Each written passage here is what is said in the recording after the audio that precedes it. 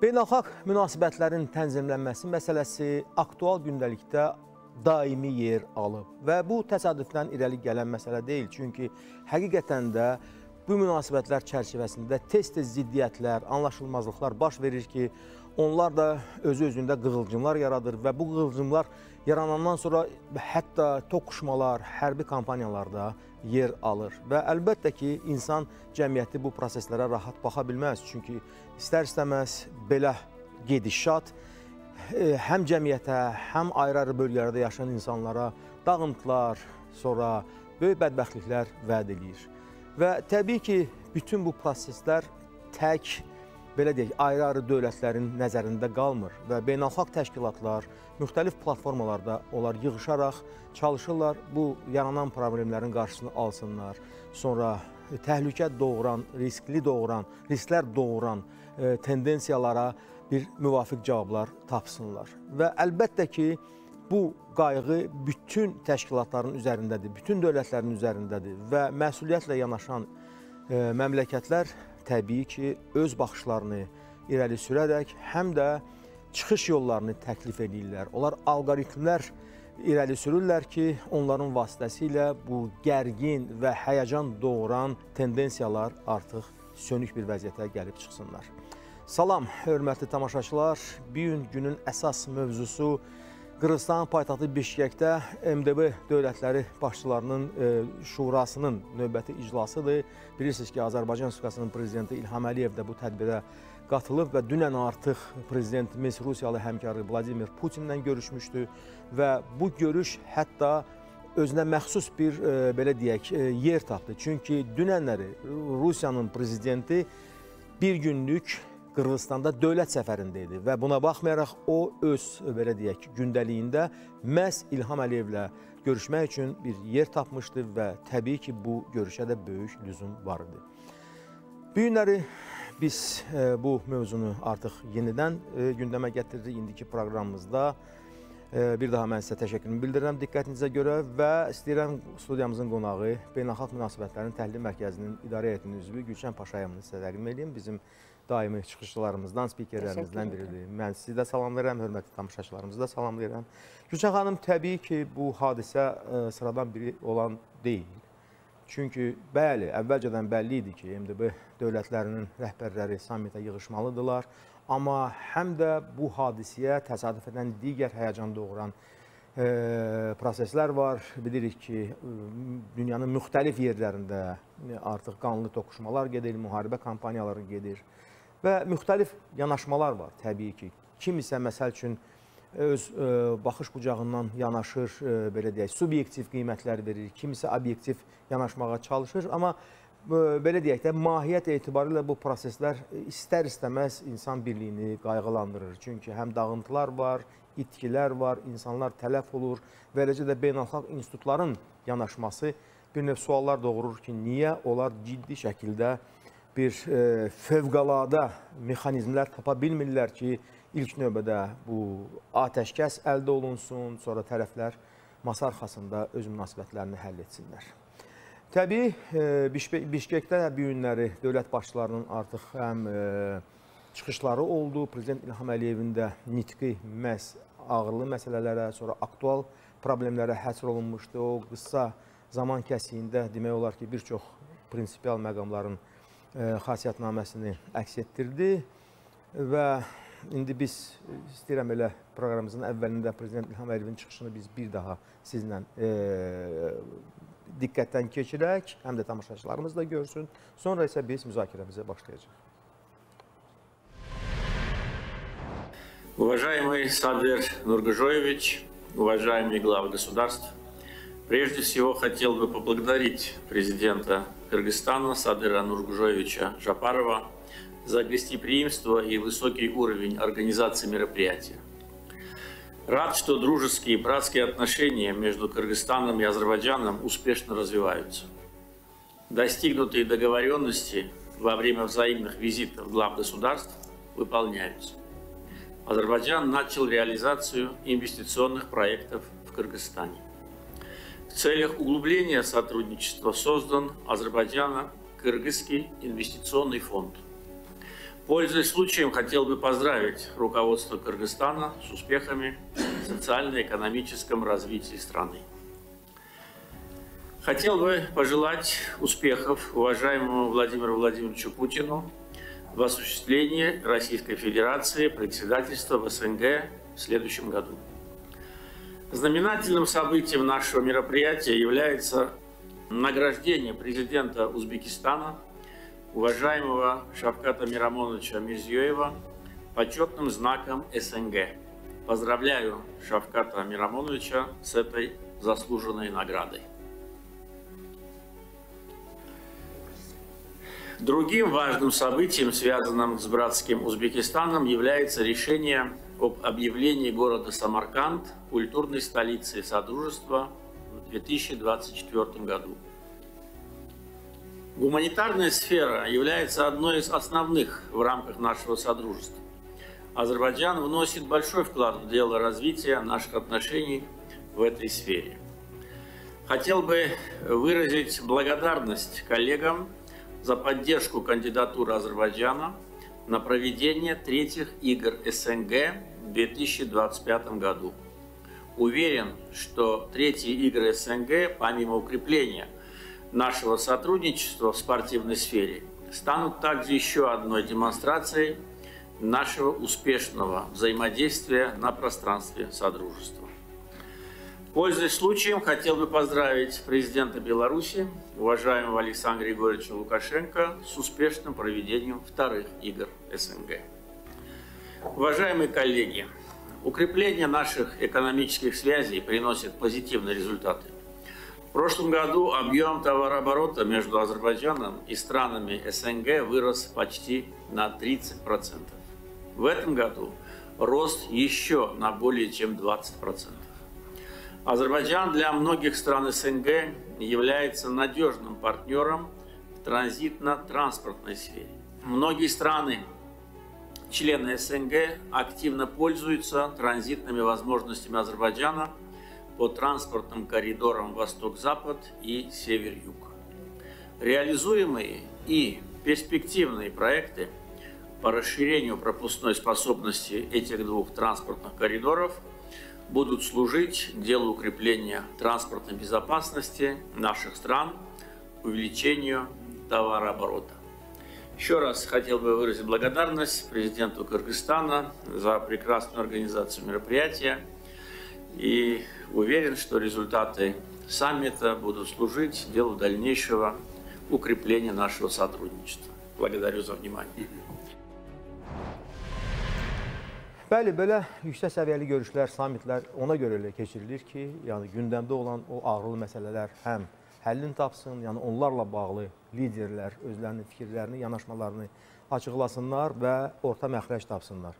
Və digər tərəfdən də əməkdaşlıq, əlbəttə ki, əməkdaşlığın da inkişafı hamıya e, sabit bir e, şərait vəd eləyir. Çünki əməkdaşlıq olan yerdə istər-istəməz təhlükəsizlik məsələləri də öz həllini tapmalı olur və bu istiqamətdə də üzv ölkələr çalışırlar. Birincisi səylərini birgə e, tərzdə həyata keçirsinlər, digər tərəfdən də bir-birlərini tamamlasınlar. Gülşən xanım, bax indiki şəraitdə ki, biz bilirik dünyada çox ağırlı proseslər gedir. Yəni bir neçə qaynar bölgələr var və orada da insanlar həqiqətən də çox böyük həyəcanlar yaşayırlar və onlarla bərabər bütün bu prosesləri müşahidə edənlər də həyəcan yaşayırlar ki, bəs bu işlərin axırı nə olacaq? Niyə? Çünki istər-istəməz növbəti dünya müharibəsi kabusu sanki bizim hamımızın üzərində var. Bax, bu şəraitdə MDB-nin vəziyyətini siz necə dəyərləndirirsiniz? Çünki istər-istəməz müxtəlif e, mövqelər var da bu təşkilatın fəaliyyəti ilə bağlı. Kimsə onu təqdir edir, kimsə tənqid edir və s. Bu təbiidir.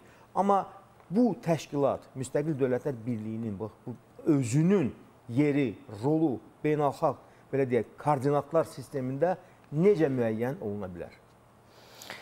Təşəkkür edirəm. Tofiq müəllim çox düzgün sual qoyursunuz. Yəni əgər biz e, onu bir regional təşkilat olaraq qiymətləndirmək istəyiriksə, məs MDB-ni, əlbəttə o tarixi baxımdan müəyyən artıq dövr ərzində fəaliyyət göstərir. Yəni asan iş deyil. Yəni 90-cı ilin əvvəllərindən biz baxsaq, 30 ilə qədər bir dövr ərzində bu təşkilat var. Və bunun üzvləri də bax bu gün siz qeyd etdiyiniz kimi və cənab prezidentin də bu gün çıxış etdiyi o sammitdə onu göstərir ki, bu ölkələrin başçıları səviyyəsində əlaqələr daim olub bu illər ərzində və müvafiq fəaliyyət həyata keçirilir. Əlbəttə, regional təşkilatlar, əgər biz götürürüksə beynəlxalq və regional, bunlar olduqca vacib, necə deyim, alətlərdir ki, o alətlərdən istifadə edərək dövlətlər müvafiq siyasətlərini də həyata keçirdirlər, əgər biz çox tərəflilikdən danışırıqsa. Çünki istənilən beynəlxalq münasibətlərdə çox tərəfli münasibətlərin özünün də inkişaf etdirilməsi olduqca aktual bir istiqamətdir. Yəni iki tərəflilikdən başqa çox tərəflilik. Və bu mənada MDB-nin özünə görə bir tarixililiyi də var. Çünki burada olan ölkələr vaxtilə SSR-nin tərkibində olan dövlətlərdilər və bunlar məhz belə 30 il yox, hətta əvvəllər də SSR dövründə də istər-istəməz müəyyən əlaqələrə və münasibətlərə onlar əlaqələri var idi Mən. və burada o tarixilik prinsipi özünü göstərir. Yəni bir tərəfdən vaxtilə bu təşkilat yarananda, yəni əvvəldən başa düşülürdü ki, bura əsasən o ölkələr daxil olacaq ki, onlar SSR-nin tərkibində olan ölkələrdirlər. Belə də oldu. Yəni baxsaq, orada yeni başqa bir ölkədən, regiondan yeni dövlətlər onun içərisinə daxil olmayıblar. Ona görə bu bir tərəfdən tarixiliyi göstərir. İkinci tərəfdən əlbəttə onun içərisində olan üzvlər e, istər-istəməz bir sıra sahə, siyasi, iqtisadi, humanitar sahələrdə müəyyən fəaliyyətlər də həyata keçirdiblər bu dövr ərzində və indi də biz görürük ki, məsələn, iqtisadiyyat baxımından e, və ticarət baxımından əlaqələr inkişaf etməkdədir. Hansısa Artımlar ölkələr, da var. Bəli, artımlar. hansısa ölkələrlə e, daha yaxın münasibətlər var, iki tərəfli. Hansısa ölkələrlə bəlkə də o qədər yaxın deyil, ancaq istər-istəməz müvafiq fəaliyyət həyata keçirilir və bu çox müsbət haldır. Çünki bugünkü reallıqda adətən o, o çox tərəfliliyin də bəzən deyirlər iflasa uğraması ideyası var idi ki, multilateralizm deyirlərsə bunlar, o daim elə bir ki, sual qoyulur ki, nə dərəcədə məsələn BMT kimi böyük təşkilatlar götürsək, beynəlxalq təşkilatlar özləri də nə dərəcədə bunların fəaliyyəti müsbət qiymətləndirilə bilər. Nə dərəcədə cənab prezident də demişkən, məsələn onun çıxışında ki, uzun bir dövr ərzində həm ATƏT-in özü bu münaqişələri həll etmək bunun əsas vacib bir prioriteti idi. O da regional bir təşkilatdır. Avropada olan ölkələri birləşdirir. Ancaq yenə də onlar bu bizim münaqişəni həll edə bilmədilər. Yəni belə götürəndə əlbəttə belə götürsək ümumiyyətlə qlobal kontekstdə e, bu cür təşkilatların çox tərəflilik baxımından götürsək, bunların fəaliyyəti bəzən çox zaman müsbət qiymətləndirilmir, çünki nəticələr yoxdur. Nəticə olmalıdır ki, biz deyək ki, hə, məsələn, ATƏT-in hansısa bir münaqişədə, hansısa bir müsbət nəticə olsaydı, deyərdik ki, orada var. Ən azı MDB çərçivəsində əgər biz ATƏT-lə müqayisə etsək, burada hansısa bir proseslər müsbət mənada getməkdədir. Nə üçün? Çünki bir tərəfdən bu region, belə götürsək, post-sovet məkanı, pis yaxşı biz e, düzdür. İndi Ukraynanı biz hələlik qırağa qoymalıyıq. Çünki Ukraynanın özündəki baş verən böhran və müharibə özünə görə MDB məkanının bir hissəsi olmaqla sual yarada bilər. Yəni Hı -hı. bu proseslər göstərir ki, artıq bir ildən ki, orada müharibə gedir. Və bu o qədər də yaxşı bir e, cəhət deyil biz götürsək əgər post-sovet məkanını. Ancaq eyni zamanda bu post-sovet məkanında bir sıra münaqişələr hələ ondan qabaq da var idi. Əgər götürsək elə Azərbaycanın Ermənistanla üzləşdiyi problem, bu açıq bir problem idi və bizim məkanda elə Sovet dövründən qalan bir, necə deyim, e, e, mirasdır. Məhz mirasdır. O mirası biz indi həll etməklə məşğuluq. Gülşən xanım, üzr istəyirəm. Bax, siz e, düzgün verirsiniz də, belə deyək ki, bu proseslərin gedişatını. Amma MDB yaranan gündən bəri burada iqtisadi segment sanki öndə gedirdi və hətta bütün iştirakçı ölkələr Azərbaycan bir qədər gec qatıldı 93-cü ildə milli liderimiz Heydər Əliyev hakimiyyətə gələndən sonra ikinci dəfə o qərar qəbul etdi ki, biz bu təşkilatda olmalıyıq. Çünki bizim orada olmamağımız müddətdə bizim belə deyək dırnaqarası dostlarımız, daha doğrusu düşmənlərimiz kifayət qədər ondan o vəziyyətdən su istifadə etdilər ki, Azərbaycanın mövqelərini bir qədər də zəiflətsinlər, salsınlar və s. Və biz qatıldıq. Amma əvvəl bir gündən MDB demək olar ki, daha çox iqtisadi proseslərə köklənmişdi ki, Sovet dağılandan sonra ki, o əlaqələr uzun illər yaranmış, fəaliyyət göstərir, əlaqələr pozulmaq üzrə idi.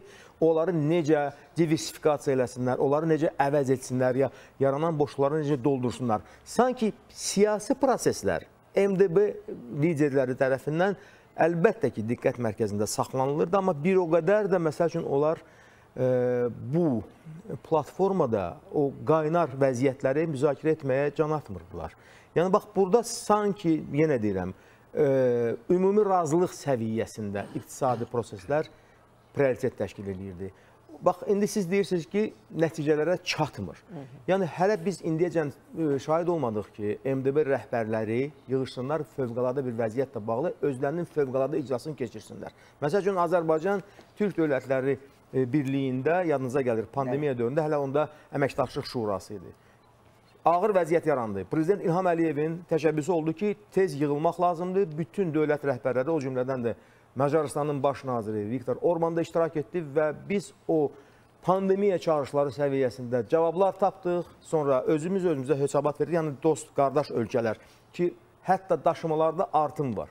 Amma MDB səviyyəsində bu olmayıb. Yalnız bir dəfə Qazaxstanda o əməliyyat keçirməkdən ötürü, demək Moskvanın çağırışı ilə yığışdılar. Vəssalam.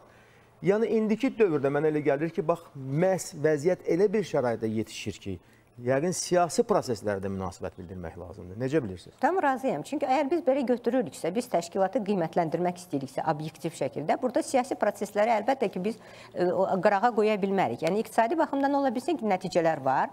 Ancaq əgər biz götürürsək siyasi baxımdan, ə, MDB həmişə elə bir ki, istəyib ki, fəal olsun, hansısa bir addım göstərsə bir göstərsin, hansısa bir nəticə. Ancaq yenə də biz götürsək post-sovet məkanında olan münaqişələri və məhz o, o ərazidə ki, belə götürsək, məhz məsələn Gürcüstan, Azərbaycan, Moldova və indi də Ukrayna.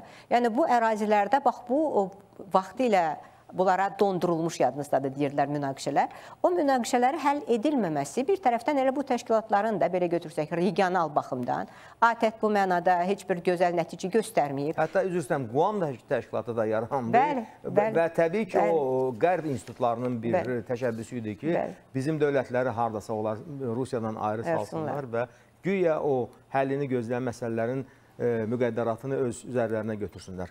E, nəysə, bizim artıq studiyamızda daha bir qonağımız yer alıb. İqtisad elmləri doktoru professor Elşad Məmmədov. Elşad müəllim salamlayırıq sizi. Təşəkkür edirəm. Şadıq sizi görməyə. Bəli. Təbii ki, bu proseslərdə əlbəttə ə, ola bilsin ki, sualların çoxluğu hardasa diqqəti çəkir, amma hər halda mənə elə gəlir ki, ümumi mühit MDB belə deyək, rəhbərləri səviyyəsində o ə, dözümlü bir şəraitdə biz Ermənistanı mən bura aid etmirəm. Bəli. Təbii ki, Ermənistan özünə məxsus bir məmləkətdir. Onun rəhbərləri də daima çalışırlar həm özlərini, həm ətrafda olanları bir növ təəccübləndirsinlər özünə məxsus tərzdə. Amma ki, hər halda aparıcı dövlətlər, mən Ermənistanı yenə də o sıraya aid etmirəm. Aparıcı dövlətlərin rəhbərləri demək olar ki, hamısı bir-birinin arasında onların yaxşı e, etimad mühiti var, sonra e, daim məsləhətləşmələr də aparırlar, danışıqlar və belə tədbirlərdə təbii ki, onlar görüşürlər. Eşad müəllim, sizi dinləyək iqtisadiyyat sahəsi ilə bağlı. Çünki bu günlər prezidentimiz çıxışında bildirdi ki, yəni son dövr ərzində 30%lıq artım var, hələ 20%lıq artım gözlənilir və ümumiyyətlə Azərbaycanın MDB dövlətləri ilə mal dövriyyəsi il ərzində 6 milyardı aşıb və burada böyük gözləntilər var. Bu təsadüfdən e, prezident İlham Əliyev o kommunikasiya xətlərinin, tranzit xətlərinin mahiyyətinə toxunmadı. Və belə görünür ki, yəni ehtiyatlar var və e, çərçivələr genişlənə bilər. Əgər bu baş verəcəksə, hansı istiqamətlərdə daha çox bunları gözləmək yerinə düşər? Bəli, sözsüz ki, əgər ə, bayaqki sizin o tezisə də qayıtsaq, Azərbaycanın MDB-yə ə, üzv olması Ulu Öndər Heydər Əliyevin hakimiyyətə dönüşündən sonra baş verdi və bu bir daha onun siyasi uzaqgörənliyinin mən hesab edirəm ki, açıq təzahürü idi. Çünki ona qədər hətta bu 90-93-cü illərin biz iqtisadi dinamikasına nəzər salsaq, Azərbaycan iqtisadiyyatı təxminən 2 dəfəyə yaxın daralmışdı. Bu iqtisadiyyatda, iqtisadi nəzəriyyədə ümumiyyətlə ə, bir iqtisadi fəlakətdir. Və belə bir vəziyyətə bizim düşməyimizin o cümlədən ə, böyük kritik ə, dərəcədə səbəbkarı məhz o ona qədər ki, bizim ölkəmizin bəli rəhbərliyində olan insanlar idilər ki, ə, iqtisadi və təsərrüfat əlaqələrinin keçmiş müttəfiq respublikalar arasında tam şəkildə dağıdılması ekspert hesablamalarına görə həmin o iqtisadi fəlakətin təxminən bir 80%-ni təmin etmiş oldu. Bu olduqca kritik bir ə, rəqəmlər idi. İndiki vəziyyətdə Azərbaycanın hazırki iqtisadi qüdrətinə baxdıqda bir qədər çətindir buna inanmaq, amma bu reallıqdır ki, Əlbəttə. elə bir vəziyyət formalaşmışdı və sizin ə, bayaqki o tezisə ə, ə, bir e, qüvvət olaraq onu bildirmək istəyirəm ki, bilirsiniz, e, sırf ilk növbədə bəli, bu buna iqtisadi əməkdaşlıq qurumu kimi biz yanaşmalıyıq. Çünki 70 il müddət ərzində çox sıx şəkildə və bizim ə, iqtisadi təsərrüfat əlaqələrimiz vardı. Texnoloji kooperasiya o dərəcədə yüksək idi ki, yəni onu birdən-birə hansısa müddət ərzində qırmaq, qırmaq o nəqliyyat logistikanı da dayandırmaq, o iqtisadi fəlakətə səbəb olmalıdır və elə oldu da. Artıq ə, 93-cü ildən başlayaraq biz iqtisadi əlaqələri ə, sözsüz ki, Ermənistan çıxmaq şərti ilə bərpa etdik MDB ölkələri ilə. Amma burada da ən mühüm ə, məqamlardan biri oydu ki, bizim MDB ilə bu illər ərzində iqtisadi əlaqələrimizə nəzər yetirsək, elə ticarət dövriyyəmizə də baxsaq, MDB-nin özündə də struktur problemlər var. O cümlədən şübhəsiz ki, MDB-nin əsas lokomotiv olan Rusiya var ki, onunla bizim əlaqələrimiz, bütövlükdə ticarət dövriyyəmiz, MDB üzrə ticarət dövriyyəmizin üçdə ikisindən çoxunu təşkil edir. Bunu da etiraf etmək lazımdır. Və digər ölkələr var ki, onlarla bizim əlaqələrimiz bu illər ərzində daha zəif oldu. Xüsusilə də Mərkəzi Asiya ölkələri idi və indi biz bu ilin əvvəlindən xüsusilə bunun şahidi oluruq ki, Azərbaycana qarşı Mərkəzi Asiya dövlətlərinin marağı xeyli dərəcədə artmaqdadır. Elə düşənbədəki zirvə toplantısına bizim ölkəmizin prezidentinin dəvəti də, ümumiyyətlə bu intensiv sammitlərin keçirilməsi də onu deməyə əsas verir ki, bu Mərkəzi Asiya ölkələri ilə bizim əlaqələrimiz artan xətt üzrə inkişaf etməlidir və bu da sözsüz ki, MDB daxilində bir canlanmaya səbəb olmalıdır. Evet. Bir sıra hallarda bu Türk dövlətləri Birliyi Təşkilatı ilə MDB-ni e, və yaxud Avrasiya İqtisadi İttifaqını bir-birinə e, bir zid qurumlar kimi təqdim etmək istəyirlər. Mən bununla da razı deyiləm, çünki əslində e, hazırda bütövlükdə regionda iqtisadi əməkdaşlıq üçün unikal bir şərait yaranmaqdadır.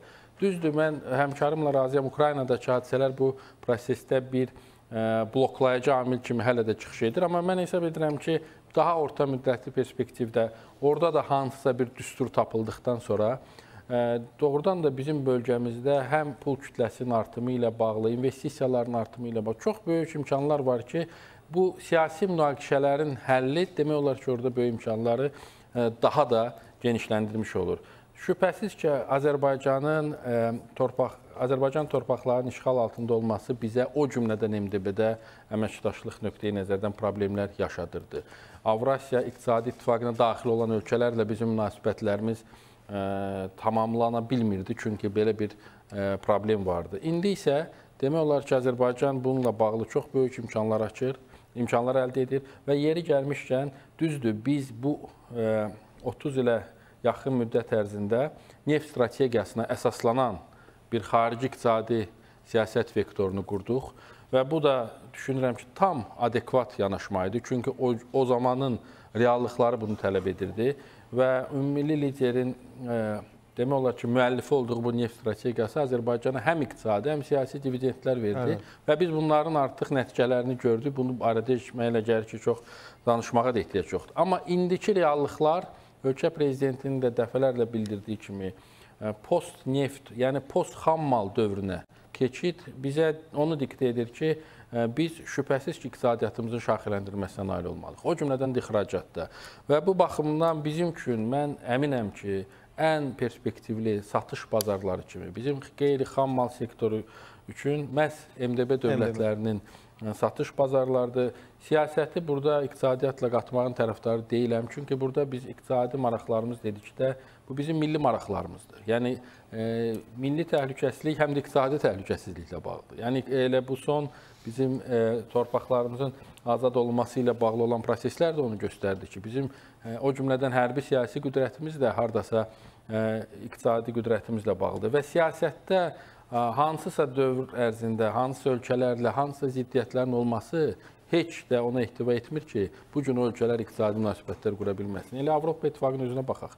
O iki böyük dünya müharibəsində faktiki olaraq bir-biri ilə üz-üzə dayanan dövlətlər bu gün bir ittifaq çərçivəsində iqtisadi münasibətlərini, Bəli. hətta vahid valyutasını tətbiq edir. Yəni bu onlara mane olmur ki, öz suverenliklərini qorusunlar, öz bayraqları olsun və s. Ona görə də mən hesab edirəm ki, burada biz iqtisadi maraqlar dedikdə, bütövlükdə milli maraqlarımıza əsaslanaraq və ölkə prezidentinin də həyata keçirdiyi çox praqmatik xarici siyasətə söykənərək MDB dövlətləri ilə əməkdaşlığımızı dərinləşdirməliyik, texnoloji kooperasiyaya nail olmalıyıq.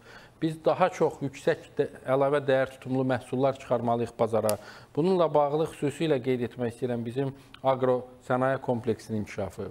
Ənənəvi olaraq Azərbaycan məhsullarına çox böyük ehtiyac, Ehtiyac var var. və çox böyük maraq var. Yəni bu bazarları biz əldə etməsək, qonşu dövlətlər Əlbəttə. bu bazarları əldə edəcək. Çünki bu kifayət qədər alıcılıq qabiliyyəti olan geniş bazarlardır və bizim üçün ən perspektivli bazarlar. Çünki bu gün Avropa İttifaqında olan vəziyyətə nəzər yetirdikdə, hələ Avropa İttifaqında gözlənən böhran məzmunlu proseslərə də nəzər yetirdikdə bizim qeyri-xam mal sektoru üçün şübhəsiz prioritet bazarlar məhz qonşu dövlətlərdir.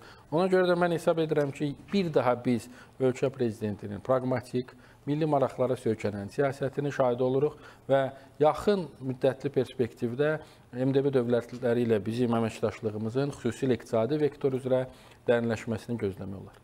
Əlbəttə, bir də ki, əgər e, mövcud platforma varsa, o fəaliyyət göstərirsə, niyə onun imkanlarından biz istifadə eləməyək?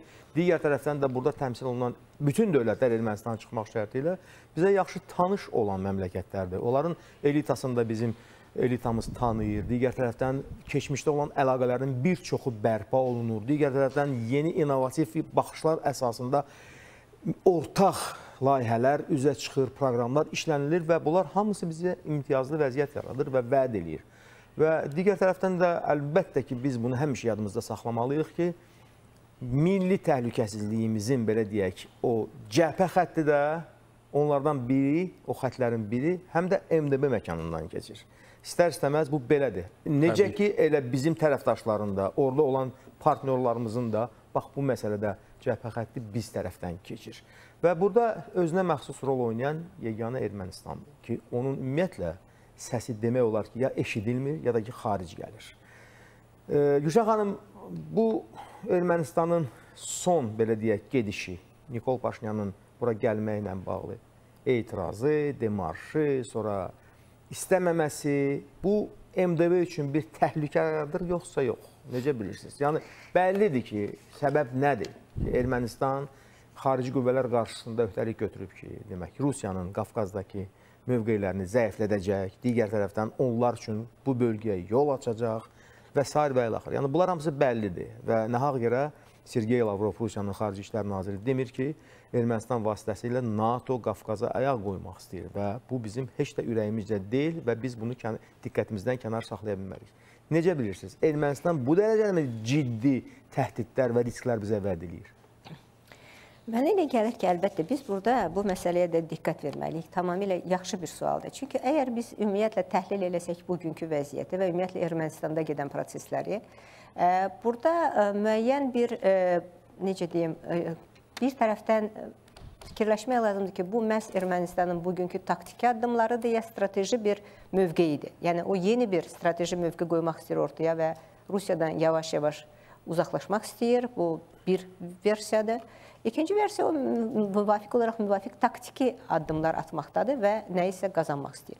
Yəni bu iki müxtəlif e, perspektivdən əgər biz bunu qiymətləndirsək Ermənistanın bugünkü ümumiyyətlə addımlarını, onda biz e, o nəticəyə gələcəyik ki, əgər taktiki baxımdandırsa, onlar əlbəttə bu son dövrdə e, Rusiyadan olduqca narazıdırlar və onlar inanırlar ki, düzdür, bir tərəfdən əgər siz yadınızdadırsa, bu yaxında onun qeyd etməsi ki, yox, sülh məramlılarla bağlı, əgər sülh məramlıları, Rusiya sülh məramlıları qərar verilsə ki, onlar Azərbaycandan çıxmalıdırlar, onlar məhz Rusiyaya qayıtmalıdırlar, onlar Ermənistana qayıtmalı deyillər. Ancaq biri tərəfdən təzadlı vəziyyət ki, yox, Ermənistandakı baza orada yenə də qalmalıdır. Yəni bir tərəfdən əgər o Rusiyadan uzaqlaşmaq istəyirsə strateji baxımdan, onda o gərək bütün körpüləri yandırsın və yavaş-yavaş uzaqlaşsın Rusiyadan. Ancaq bu mənə elə gəlir ki, elə deyil. Çünki ümumiyyətlə ümumiyyətlə Ermənistanın bütün iqtisadiyyatı Rusiyadan asılı bir vəziyyətdədir. Eyni zamanda Rusiya onlara ona görə lazım idi ki, təhlükəsizlik baxımından onlara daim arxa olsun və Qarabağ məsələsində əsasən Qarabağ məsələsi onları Rusiya ilə birləşdirirdi. Vacib bir prioritet istiqamət kimi. Bugünkü vəziyyətdə artıq Qarabağ məsələsi artıq gündəmdən çıxıb Və bu mənada onlar bir tərəfdən ə, azad olublar ağır bir yükün altından. Çünki Ermənistan hökumətini biz götürsək, onlar o Qarabağı uzun bir dövr ərzində daim ə, dəstəkləməklə, maliyyə, fiziki, siyasi... Gücə xanım, yəqin ki, Elşad müəllim bizim çox məlumatlı mütəxəssisimizdir iqtisadiyyat sahəsində. Bəli. Qarabağın bütün maliyyə yükü Bəli. Ermənistanın büdcəsinin Bəli. üzərində idi və eləcə də silah sursatı da Ermənistan büdcəsindən Əlbət. alırdılar onlar Əlbət. Qarabağ üçün. Bəli. Yəni bunlar faktiki olaraq demək olar ki, böyük bir bəladan və Xilas böyük bir olub. yükdən xilas olublar. Bəli, tamam. Və hətta bu zəmində də çalışırlar dünyaya bir belə deyək də bir hesab təqdim etsinlər ki, hamınız bizə borclusunuz. Bəli. Xeyr ola. Bəli, indi ona görə bu bir tərəfdən, yəni bu bir istiqamətdir. Ona görə də əgər biz sizinlə fikirləşiriksə ki, bugünkü reallıqda hələ ki o onların tam mənada bu şok vəziyyətindən çıxması üçün müəyyən müddət lazımdır ki, anlasınlar ki, deyəsən Qarabağdan onların canı qutaracaq yaxın bir zamanda. Hələ də tam anlaya bilmirlər.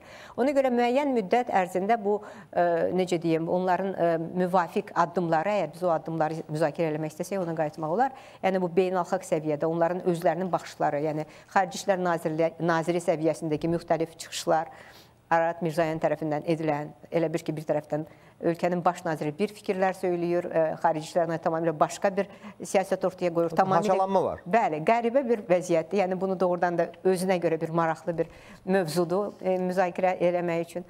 Ancaq mənə elə gəlir ki, e, bütün bu proseslər onu göstərir ki, Ermənistan hələ də tam mənada bugünkü o məğlubiyyəti ilə tam mənada. Çünki mənə elə gəlir ki, onlar hələ də inanırdılar ki, onlara kimsə kömək eləyəcək. Bəlkə elə bugünün özündə də onlar inanırlarsa, o kimsə yenə kömək eləyəcək. Nəyə? Nəyə kömək edəcək? Nə üçün kömək edəcək? Məqsəd hansı məqsəd ətrafında bunlar kömək məqsəd- umurlar? Məqsəd bilirsiniz nədən ibarətdir? Mənə elə gəlir, ə, Tofiq müəllim. Məqsəd ondan ibarətdir ki, bu ölkə ə, bir ölkə kimi formalaşması üçün onlara müəyyən bir ideologiya lazım idi.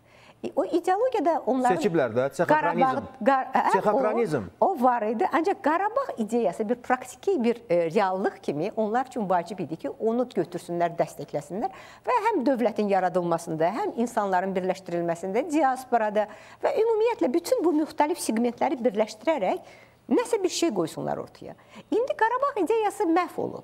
Qarabağ ideyası məhv olandan sonra bu dövlət, yəni əgər dövlət götürülüksə, bu saat itirib məzmununu. Yəni onlar yeni bir məzmun tapmalıdırlar ki, bir dövlət kimi yenidən yaşamağa başlasınlar. Məzmun itirilib və bu mənada mənə elə gəlir bugünkü iqtidar istər-istəməz kim olsa da müvafiq siyasəti ortaya qoymaq üçün hansısa bir ağıllı adamlara möhtacı var. Gülə xanım, üzr istəyirəm. Siz mənim bir sualıma cavab verin. Bəli. Mən sizlə razıyam. Tabii belə bir ki, Elşad mənim də razıdır ki, məzmun itib. Amma Bəli. o məzmunun axtarışında olanlar varmı? Yoxsa yox. Varsa kimlərdir və hansı məzmunun peşindədirlər? Necə deyərlər? Hansı məzmunun intizarındadılar bunlar? Yox, məzmun, məzmun Biz başa düşdük, ya Qarabağ getdi. Yəni Qarabağ qatarı Ermənistan üçün getdi. Bəli. Bu aydın bir həqiqətdir. Reallığı əks etdirir. Amma dövlət olmaqdan ötürü ilk növbədə gərək orada yaşayan insanlar və onların siyasi qrupları, elitaları, öncülləri, beyin daşıyıcıları gərək ortaya düşüb çıxsınlar. Özlərinin arxasınca cəmaata aparsınlar ki, biz filan doktrinanı təklif edirik. Bizim inkişaf konsepsiyamız bundan irəli gəlir. Bizim konstitusiyamıza dəyişiklik olmalıdır. Bunlar heç nə etmirlər. Bunların konstitusiyasında və müstəqillik aktlarında yenə də vəhşilik təsbit olunub. Azərbaycan və Ermənistan, daha doğrusu Azərbaycan və Türkiyə düşmən ölkələr kimi təsbit olunub və Qarabağı da öz torpaqları sayırlar. Ya bu axı paradoksdur. Bəli, bax siz tamamilə o nöqtəni vurdunuz da. Yəni o o paradigma dəyişməlidir. O 20-ci əsrin ola bilsin paradigmasıdır. 21-ci əsrdə bunlar dəyişməlidir. Onun tamamilə 180%. Onlar deməlidirlər ki, Ermənistanın iki dənə qonşusu var, Türkiyə və Azərbaycan. Bizim bu ölkələrlə heç bir münasibətlərimiz yoxdur diplomatik. Biz bir-birimizlə müharibə vəziyyətindəyik. Biz bunu, bu paradigmanı dəyişdirməliyik çünki biz 21-ci əsrdə yaşayırıq. Bax mənə elə gəlir ki, ondan onlar başlamalıdırlar. Nə qədər çox vaxt lazım olacaq, az vaxt olacaq, o başqa məsələdir. Ancaq nəhayət o baş versə, biz deyə bilərik ki, biz nəhayət yeni bir səhifəni aça biləcəyik. Mənə elə gəlir ki, bu dünyanın ən böyük bir möcüzəsi olacaq, o baş verərsə. Elşən müəllim, e, təbii ki, bu gün Prezident İlham Əliyevin çıxışında həm də digər vacib bir e, mesaj var idi. O Qırğızstanla bağlı idi. Biz bilirik ki, Qırğızstan uzun müddət çox təlatumlu bir vəziyyətdə idi. O heç bir e, platformada özünü rahat hiss eləyə bilmirdi. Çünki ölkənin iqtisadiyyatı çox zəif bir vəziyyətdə idi, durumda idi. Sonra digər tərəfdən maliyyə çatışmazlıqları, sonra investisiyalar sanki elə Qırğızstan arasından yan keçirdi. Amma Azərbaycan yenə də Qırğızstana köməklik göstərir və bu günlər prezidentimizin dilindən biz eşitdik ki, birgə investisiya fondu yaradılır və demək olar ki, yəni Azərbaycan bu ölkəyə əməli dəstək vəd edir. Bu elə MDB çərçivəsində də və ondan kənarda da normal bir model sayıla bilər, yoxsa yox? Çünki istər-istəməz əgər təşkilatda ölkələr yığılırlarsa, onlar gərək bir-birlərini eşitsinlər, bir-birlərinə köməklik göstərsinlər, dəstək göstərsinlər və burada da yəqin ki, Azərbaycan özünə məxsus bir nümunə göstərir. Mən belə başa düşürəm. Bəli, sözsüz ki, burada əgər e, biz birgə investisiya fondundan danışırıqsa, ilk növbədə Azərbaycanın orada maliyyə iştirakı nəzərdə tutulmalıdır. Çünki əgər ölkələrin iqtisadiyyatını müqayisə etsək, şübhəsiz ki, biz daha çox Azərbaycanın iqtisadi qüdrətinə əsaslanan bir fonddan e, danışmalıyıq və bu baxımdan mən bir tərəfdən bunu bizim e, dövlətimizin o cümlədən siyasi nüfuzunun artmasına istiqamətlənmiş addım kimi dəyərləndirirəm, amma eyni zamanda burada da iqtisadi maraqlar təmin olunacaq. Çünki e, həmin bölgə bir daha qeyd etmək istəyirəm. Mərkəzi Asiya ölkələri yaxın və orta müddətli perspektivdə Azərbaycan üçün əsas ticarət və iqtisadi tərəfdaşlar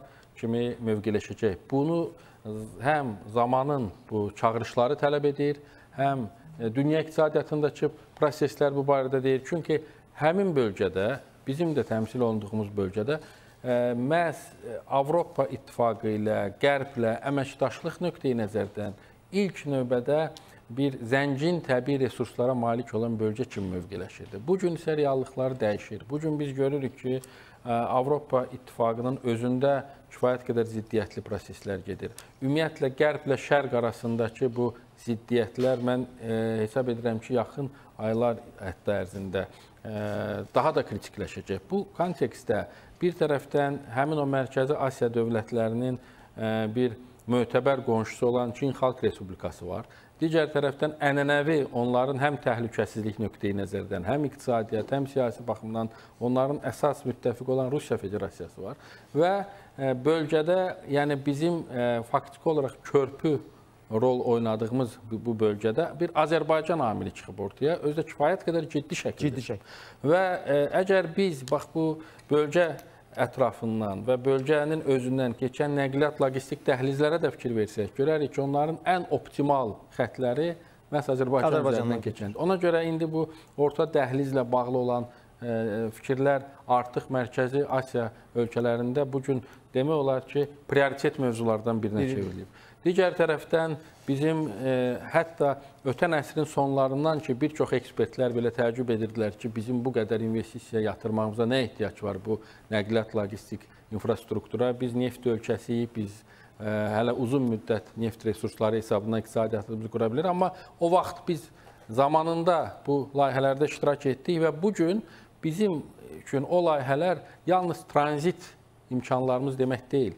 Hava çevrilmişik bəli, də bir Bəli, biz ora investisiyalar yatırmışıq ki, öz məhsullarımızı ixrac edək. Bu olduqca önəmlidir və bu baxımdan mən hesab edirəm ki, hətta e, Mərkəzi Asiya dövlətlərində bir e, fikir formalaşıb ki, bu istiqamətdə Azərbaycan bir qədər onları qabaqlayıb. Və, və ona görə də bu gün onlar artıq o Azərbaycan modelini öz dövlətlərində tətbiq etməyə çalışır ki, mənimsəyirlər də. Bəli, bəli, çox şaxəli xarici iqtisadi siyasət. Çünki biz baxmayaraq ki, 90-cı illərdən bəri e, əsas xarici ticarət tərəfdaşı kimi Avropa İttifaqını götürürdük. Çünki bizim ixracat ora ilə bağlı idi əsasən. Bəli. Amma biz bu digər istiqamətləri də unutmadıq. Əgər biz elə 90-cı illərdən şimal-cənub dəhlizinə bu qədər diqqət ayırırdıqsa, e, onun Avropa ilə bizim e, ixracatımız nöqteyi nəzərdən bir bağlılığı yox idi ki. Biz deməli qeyri-neft sektorumuzun, post-neft dövrünün problemlərini görürdük və ona hazırlıq nöqteyi nəzərdən qonşu dövlətlərlə iqtisadi əlaqələrimizə bu qədər önəm verirdik. Və eyni zamanda bizim demək olar ki, indi yenə də Ermənistan çıxmaq şərti ilə bütün qonşu dövlətlərimizlə sağlam münasibətlərimizin olması bunun özü də bir modeldir. Yəni tətbiqi lazım olan bir modeldir. Ona görə də mən düşünürəm ki, yaxın illər ərzində bax bu tip investisiya fondlarının ə, yaradılması təcrübəsi yayılacaq digər ölkələr də buna gedəcək. Çünki bu gün bölgədə iqtisadi nöqteyi nəzərdən ən problemli məsələ investisiya çatışmazlığı. Bəli. Və bu nöqteyi nəzərdən də bu fondlara böyük ehtiyac var. Və təbii ki, Azərbaycan da bu istiqamətdə özünə məxsus belə deyək də bir örnəyi artıq canlandırıb, onu nümayiş etdirir və hətta qardaş ölkəyə köməklik də göstərir.